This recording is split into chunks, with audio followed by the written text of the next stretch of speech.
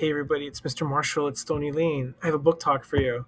This is a book that's written for grown ups and it's written for kids.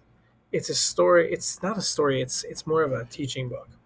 Um, and if you're the kind of person that's just starting to use a writer's notebook because you're doing that in school or you're doing it for fun, um, this is a book that will help you. In fact, it's called A Writer's Notebook and it's written by Ralph Fletcher.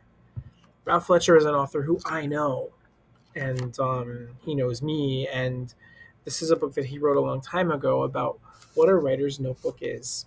This book has lots of words. There's really no pictures in this book, so it's the kind of book that you would have to read, you know, with a lot of energy to read lots of words.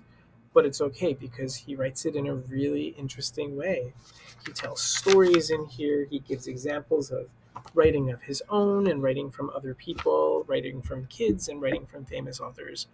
Um, so, if you're interested in learning about how a writer's notebook works and how you can use it to become a better writer, then this is a great book for you. And if you're a teacher who wants to learn how to use a writer's notebook in your classroom, it's also a great book just for that. All right. Thank you, and I'll see you next time.